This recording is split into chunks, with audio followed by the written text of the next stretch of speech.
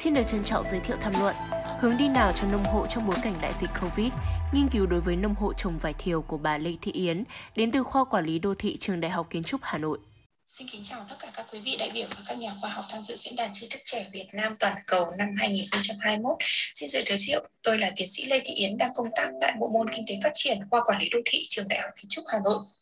Hôm nay rất vinh dự cho tôi khi được lựa chọn là một trong các đại biểu tham dự diễn đàn tri thức trẻ Việt Nam toàn cầu năm 2021. Đến với diễn đàn tri thức trẻ Việt Nam toàn cầu năm 2021, tôi rất mong muốn được học hỏi và trao đổi thêm những kiến thức, những kinh nghiệm, những kỹ năng trong nghiên cứu khoa học đối với các nhà khoa học trẻ Việt Nam toàn cầu. Đến với diễn đàn năm nay thì tôi có trình bày cái phần kết quả nghiên cứu của tôi và rất là mong nhận được sự đóng góp của các nhà khoa học cũng như là các đại biểu để cái kết quả nghiên cứu của tôi có thể hoàn thiện hơn.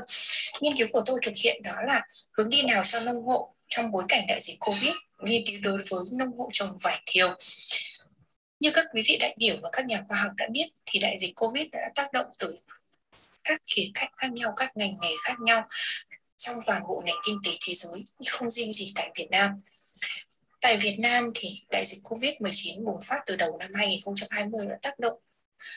với các mức độ khác nhau tới các ngành kinh tế cũng như với các tác nhân từ người tiêu dùng cho đến người sản xuất. Theo kết quả thống kê của Tổng cục Thống kê năm 2020, tính đến tháng 4 năm 2020 thì đại dịch Covid đã tác động đến khoảng 87,5% số lượng doanh nghiệp được khảo sát. Trong cuộc khảo sát của Tổng cục Thống kê với 1.100 200 khoảng 1.260 doanh nghiệp thì lĩnh vực mà chịu ảnh hưởng nặng nề nhất đó là lĩnh vực dịch vụ. Sau đó đến lĩnh vực công nghiệp và lĩnh vực nông nghiệp cũng là lĩnh vực chịu ảnh hưởng với khoảng 78,7% số lượng doanh nghiệp được khảo sát trả lời có chịu ảnh hưởng ở các mức độ khác nhau do tác động của đại dịch Covid-19 nghiên cứu của tôi được thực hiện dựa trên dữ liệu khảo sát từ các nông hộ trồng vải thiều mang tiêu chuẩn Việt Gáp, được thực hiện tại tỉnh Bắc Giang. Tại ta tại sao tôi lại thực hiện tại tỉnh Bắc Giang? Bởi vì là từ khi đại dịch Covid bùng phát thì cái mùa thu hoạch vải thiều là mùa mà chịu ảnh hưởng của đại dịch Covid khi mà đại dịch Covid bùng phát tại tỉnh Bắc Giang, nó xuất phát từ các khu công nghiệp và sau đó lan ra các tỉnh các xin lỗi, lan ra các các huyện và tại cái thời điểm đó là thời điểm thu hoạch vải thiều của các nông hộ và cụ thể là những nông hộ trồng vải thiều theo tiêu chuẩn Việt Gáp. Vì vậy nó đã tác động trực tiếp tới thu nhập của những nông hộ này. Kết quả đã chỉ ra là gì ạ? Khi đại dịch Covid bùng phát tại tỉnh Bắc Giang, cũng như là tại các tỉnh của cả nước, cũng như là trên toàn thế giới, thì việc tiêu thụ sản phẩm vải thiều đối với nông hộ đã gặp những trở ngại cụ thể nào ạ? Cụ thể là gì? Cái việc tiêu thụ sản phẩm vải thiều trở nên khó khăn hơn. Người dân khi mà thu hoạch sản phẩm vải vải thiều đã không thể đã gặp những cái vấn đề trở ngại trong việc bảo quản cũng như trong việc tiêu thụ sản phẩm vải thiều gây ra hiện tượng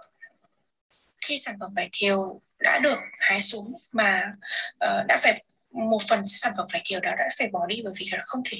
không đáp ứng được tiêu chuẩn và không thể xuất khẩu cũng như là không thể tiêu thụ được ở trong nước. Kết quả nghiên cứu của tôi đã chỉ ra rằng là đại dịch khi mà đại dịch covid bùng, đại dịch covid 19 bùng phát thì thu nhập của các nông hộ trong sản phẩm vải thiều đã có sự thay đổi thay đổi theo hướng tiêu cực. Trước khi có đại dịch covid là thu nhập trung bình của mỗi hộ trong vụ Ờ, thu hoạch vải thiều đã rơi vào khoảng 236 triệu đồng một năm. Tuy nhiên khi mà có đại dịch Covid thì cái thu nhập nó đã giảm xuống đáng kể, nó sẽ chỉ còn khoảng 200 triệu một năm. Với người dân thì việc mà giảm đi thu nhập khoảng từ 30 đến 40 triệu với những cái hộ gia đình trung bình. Thế còn những cái hộ gia đình mà trồng nhiều thì có sẽ cái con số này nó có thể lớn hơn. Đây là một con số rất lớn đối với các nông hộ mà nó đã ảnh hưởng đến thu nhập cũng như là cuộc sống của họ trên cơ sở về kết quả phân tích của tôi chị đã chỉ ra rằng là có tương đối nhiều các yếu tố nó tác động tới thu nhập của nông hộ trong cái bối cảnh đại dịch covid bùng phát đó là sự ảnh hưởng của đại dịch covid 19 đó là sự ảnh hưởng của giá cả đó là sự ảnh hưởng của các kênh phân phối việc sử dụng các trang thương mại điện tử sẽ là một trong những cái giải pháp hữu hiệu để có thể hỗ trợ cho người dân trong việc tiêu thụ sản phẩm. Tuy nhiên, vấn đề đặt ra là gì ạ? Khi sử dụng các trang thương mại điện tử thì người dân chưa được tiếp cận với trước đó và việc ứng dụng công nghệ thông tin với người dân là khá mới mẻ. Vì vậy, để sử dụng cái trang thương mại điện tử cũng như là các ứng dụng tiêu thụ sản phẩm online để có thể chuyển trực tiếp tới tay người tiêu dùng thì cần phải có những lớp đào tạo cũng như là những khóa huấn luyện cho người dân để người dân cụ thể là các nông hộ những người mà chưa có nhiều kinh nghiệm và những người mà chưa chưa từng và hoặc có thể là hạn chế cái việc tiếp xúc với lại các cái uh, tạo để có thể tiêu thụ sản phẩm của mình để làm thế nào để cho người dân có thể tiếp cận được những cái công cụ này và chủ động hơn trong cái việc tiêu thụ sản phẩm của mình, tránh hiện tượng bị động và ảnh hưởng tới thu nhập của họ trong những năm tiếp theo khi mà đại dịch Covid vẫn còn diễn biến tương đối phức tạp và chúng ta cũng sẽ kỳ vọng rằng là đại dịch Covid sẽ sớm được khống chế để cuộc sống của người dân cũng như là nền kinh tế của chúng ta sẽ dần dần phục hồi và đạt được trạng thái ổn định. Trên đây là cái kết quả tóm tắt nghiên cứu của tôi rất mong nhận được sự góp ý của các nhà khoa học cũng như là quý vị đại biểu để có thể tiếp tục thực hiện cho nghiên cứu và đóng góp chung cho sự phát triển của xã hội. Xin kính chào tất cả các quý vị đại biểu.